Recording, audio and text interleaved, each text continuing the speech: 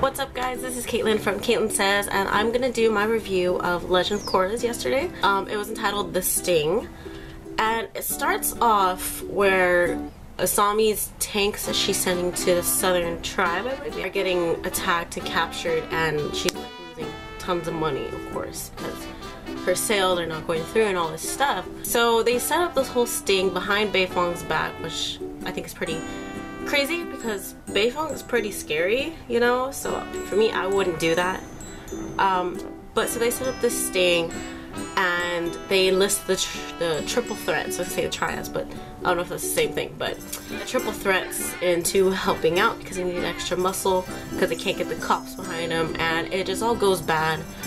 Um, all this stuff goes on. The triple threats were approached by some other dude to what's it called to double cross them and so that operation pretty much goes bad but what Mako finds out as he tried to show Beifong before when he interrupted some interrogation like questioned things she was doing as it turns out that device that that little that um remote device for detonation stuff was actually um, Varrick's design and it's exclusive to Varrick's company.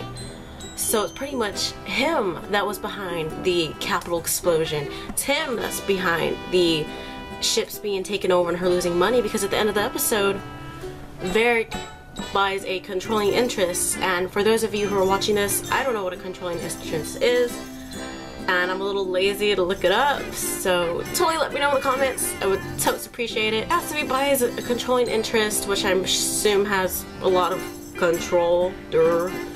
But so he buys. So apparently, the guy we thought was totally fine is probably more than bad, more than bad news. So it's, it's really sad because he seemed like such a good dude. Mako can undercover uncover the truth because he was about to tell Asami. Like he literally walked into the office and he was all like, "Asami, I know who set us up," all this stuff, and he's right there, Varrick's sitting right there in the chair. Oh, oh, I I liked this episode, and I didn't. It was good.